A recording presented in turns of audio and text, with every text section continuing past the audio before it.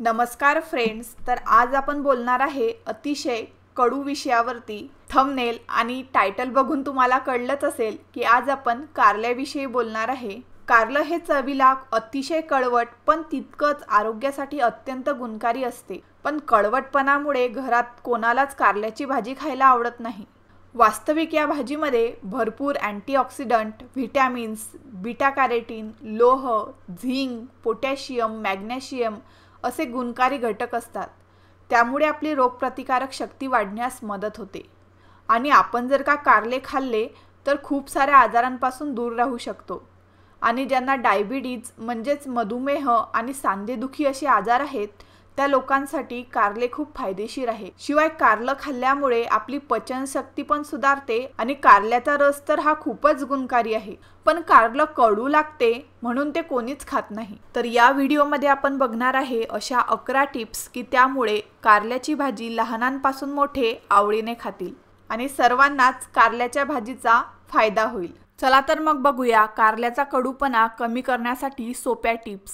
त्यातील पहिली टिप तर सर्वात महत्त्वाची आणि पारंपरिक टीप म्हणजे कारलं चिरून झाल्यानंतर त्यामध्ये मीठ घालायचं आणि त्याला हाताने चोळून घ्यायचं. त्यानंतर त्याला थोडंसं पाणी सुटते.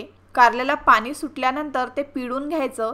त्यामुळे कारल्याचा कडूपणा कमी होतो. त्यातील दुसरी टीप कारले स्वच्छ धुवून घ्यायचे आणि त्यावरील जो काटेरी भाग असतो तो काढून घ्यायचा.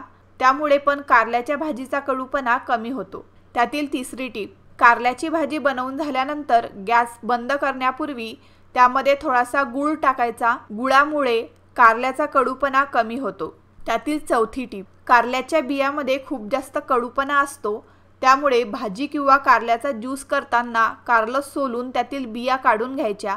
त्यातील पाचवी टीप कारल्याची भाजी करत असताना ती छान क्रिस्पी होईपर्यंत परतून घ्यायची. या पद्धतीने भाजी कोरडी होईल आणि त्यातील जो रस आहे तो सुकून गेल्यामुळे आणि व्यवस्थित फ्राय झाल्यामुळे त्यातील कडूपणा कमी होतो.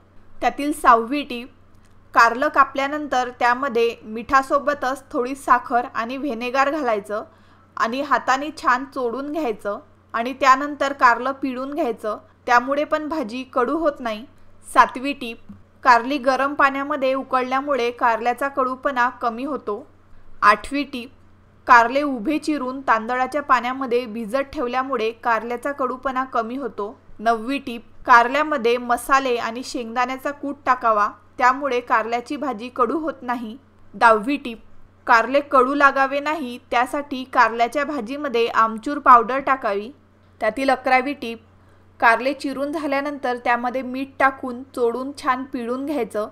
आणि छान क्रिस्पी होईपर्यंत फ्राय करायचं आणि गॅस बंद करण्यापूर्वी त्यामध्ये थोडासा लिंबाचा रस घालायचा. यामुळे कारल्याच्या भाजीचा कडूपणा कमी होतो.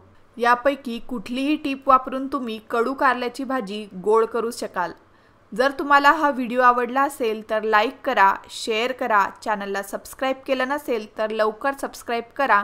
चला तर मग पुन्हा भेटूया नेक्स्ट व्हिडिओमध्ये तोपर्यंत खा मस्त राहा स्वस्त